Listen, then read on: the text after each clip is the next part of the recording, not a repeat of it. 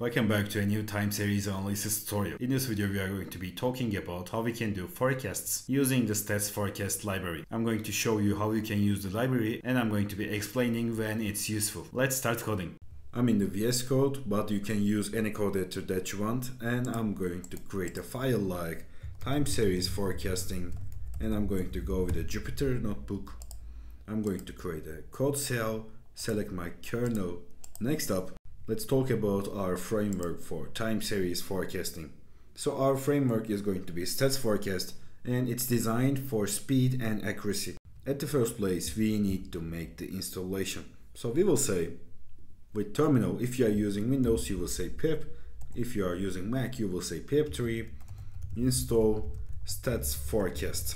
And when you make this run, you are going to have the library. And let me show you the version that I'm using on this tutorial like I'm using the version 1 the sorry 178 okay so you can install the specific version too and let's directly start coding. So we will say import numpy as np import pandas as pd import matplotlib pyplot as plt at the first place for visualization side. We will say from stat forecast import stats forecast class and we will say from stats forecast dot models import auto arima exponential smoothing and seasonal naive for simple baseline models. Also we can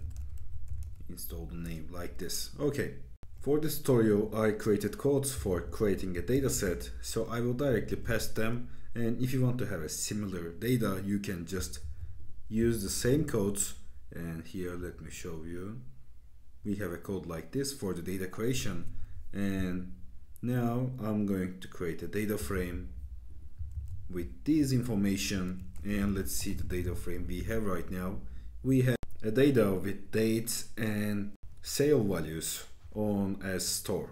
Let's visualize for seeing the data type. So plt.plot, we can see the trends clearer like this, data frame y, and our label is going to be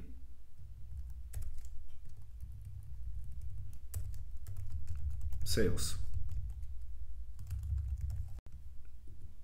Like this. Okay, let's give it a title like sales data and add a grid and we can show like this. Okay we have an upward trend we have monthly seasonality and a random noise. Great.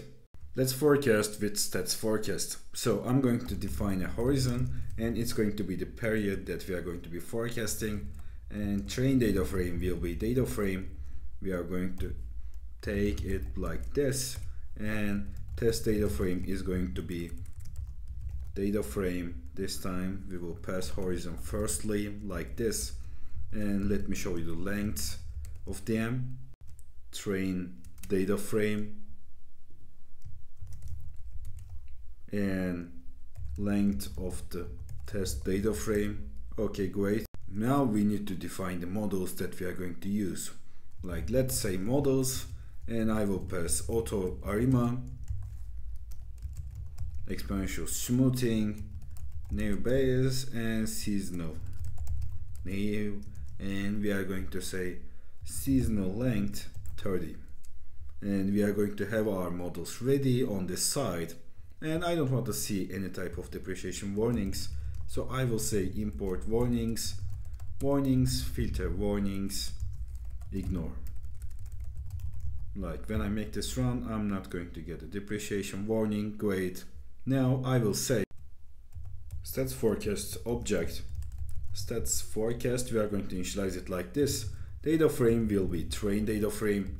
Models will be models. And frequency is going to be daily. So we have this right now. Now what we are going to do is we will say forecast data frame. And it's going to be stats forecast dot forecast. And we will pass the horizon like this and here we have our models ready. It's this easy. And I'm going to call the forecast data frame. And we can see that we have a forecast for the horizon 14 days from each model we can see in our data frame. And now I'm going to define a function for plotting for seeing these forecasts. Define plot forecast train test forecast and model name is going to be their inputs. And I will say plot train train y. Next up label will be train like this. And after that I'm going to say plot test values like this. Label will be actual and let's add a color on this like let's say black for the actual values. I'm going to use a capital letter on this side. Next up I will say color on this side and we are going to say like plot we are going to go with the forecasts right now. Test dates. Test on there for the quotes y label actually not like this? We will say forecast for the values and we will say model name dot values on this side. And next up label will be forecast of the model name like this. Okay we are plotting the forecasts for the model and we are going to give a title like f string model name forecast versus actual. We are going to add legend this time and let's add a grid and we will use plt.show so here is our function ready. In here we take the inputs as training data testing data forecasts and model name and we plot the training data we plot the testing data and we plot the forecasted values. Now we are going to write a for loop like for model in forecast data frame that columns.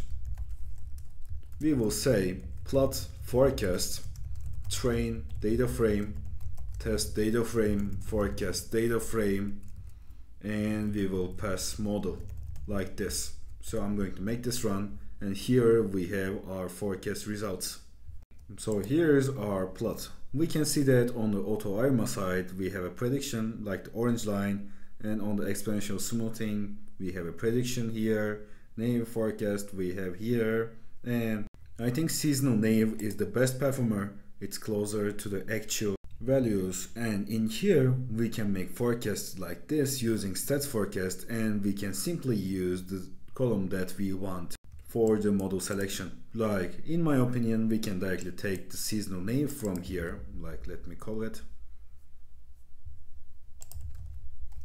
seasonal naive and we can use this forecasts. And that's it for the coding side. It's this easy to make time series forecasting with stats forecast. Thanks for watching. Let's get to the outro. Thanks for watching this tutorial. I'm sharing new data science videos every week on my channel. You can subscribe for more videos like this. Have a great day.